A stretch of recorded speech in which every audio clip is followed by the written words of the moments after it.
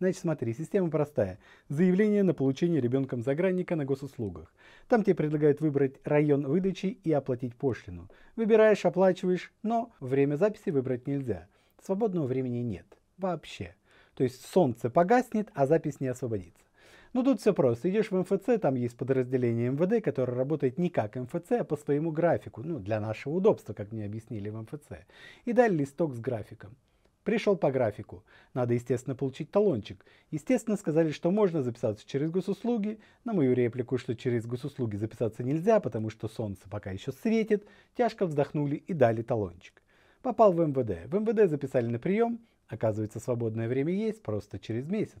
И попросили, ну вы знаете, как просят в МВД, принести форму 8 на ребенка. Конечно, форму 8 можно взять только в своем районе, езжайте туда. Приехал, объясняю про форму 8, прошу талон. Не устроит ли меня вместо формы 8 выписка из домовой книги? Меня устроит, но я не уверен, что устроит МВД. Дают талон в МВД, видимо, чтобы они выдали справку для МВД. Иду в МВД, там говорят, что эту форму не дают, они же МВД, зачем им справка для самих себя? Звучит логично. Предлагают вернуться на ресепшн. Все же это пока регистратура. Возвращаюсь, удивленные глаза, чесание головы, задумчивое молчание, новый талончик. Сходите, по талончику вам распечатают форму 8, потом с распечатанным в кабинет 75, все же МВД. Там подпишут и будьте вы прокляты со своей проклятой справкой. Иду в окошко распечатывания. Ой, простите, компьютер завис, ничего нельзя сделать. Кстати, а что вам нужно? Форма 8?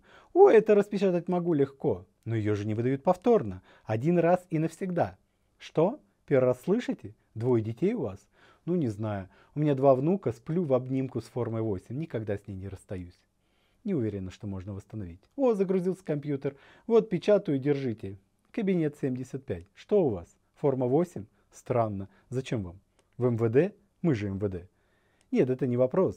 Ну, вообще-то она не восстанавливается. Паспорт, паспорт, да, восстанавливается. Свидетельство о рождении, да, конечно. Аттестат об образовании, без проблем. Диплом о высшем образовании, легко. Но не форма же 8, соображать надо. Ну вот, держите подпись, печать. Да, и вам всего самого хорошего.